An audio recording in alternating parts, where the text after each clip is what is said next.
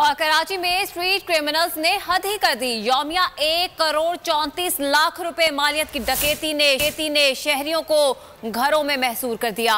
महाना 40 करोड़ रुपए जुराइम पर भी शहर में कानून नाफिज करने वाले इदारे हरकत में नहीं आ रहे। बेअमान शहरियों का पुरसान हाल नहीं तहफ़ कौन देगा? साल 2022 में स्ट्रीट क्रिमिनल्स ने चार अरब बानवे करोड़ रुपए मालियत की वारदातें करके शहर में अपनी धाक बिठा दी। कराची में जराइम पेशा अफराद की दिहाड़ी, एक करोड़ चौंतीस लाख उनासी हज़ार चार सौ बावन। स्ट्रीट क्रिमिनल्स की महाना लूटमार, चालीस करोड़ तैतालीस लाख तिरासी हज़ार पाँच सौ इकसठ।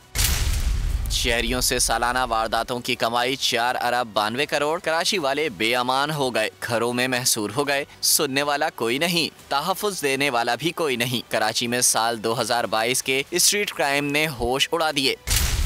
लुटेरों ने शहरियों से लगभग पाँच अरब रुपए की मालियत की छीना झपटी की।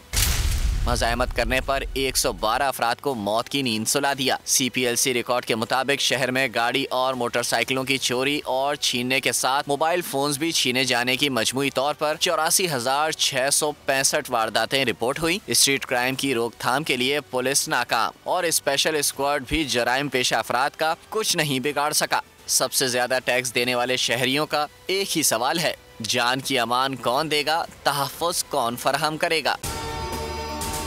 अगर आपको ये वीडियो पसंद आए तो लाइक पर क्लिक करें। 2022 बहुत सारे तोहफे भी देखे गया पाकिस्तान की आवाम को। पाकिस्तान की आवाम को एक तोहफा ये दिया कि आवाम को पता चल गया कि पाकिस्तान का मीडिया क्या है। हक और सच का सफ़र। साल 2022 में बोल रहा नंबर वन। हमने बहुत सारे शोज़ और ट्रांसमिशन की पूरा साल मुसलसल जदोजहद में निकल गया कि ये वोट ऑफ़ कॉन्फिडेंस के पीछे कौन लोग थे। तोड़े रेटिंग के सभी रिकॉर्ड सोशल मीडिया पर भी सबसे ज़्यादा तेज़ी से 2.4 बिलियन व्यूज़ का संगे मील अबूर किया। एंकर्स को भी आवाम में सबसे ज़्यादा मकबूलियत मिली और सोशल मीडिया पर भी बोल रहा सब पर भारी। सब्सक्राइब करें और बेल दबाएँ ताकि कोई खबर रह न जाए।